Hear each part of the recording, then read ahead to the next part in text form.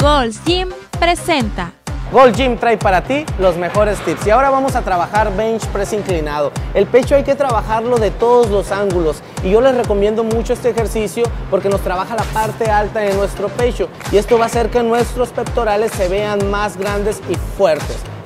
Aquí es muy importante mantener las manos abiertas que sobrepasen la anchura de nuestros hombros. Vamos a sacar la barra, vamos a llevarla hasta nuestro pecho y vamos sobre un movimiento ascendente en movimiento vertical.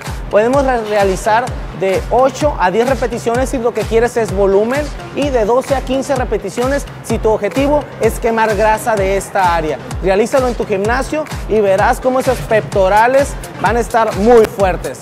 Gold Gym para ti, los mejores tips.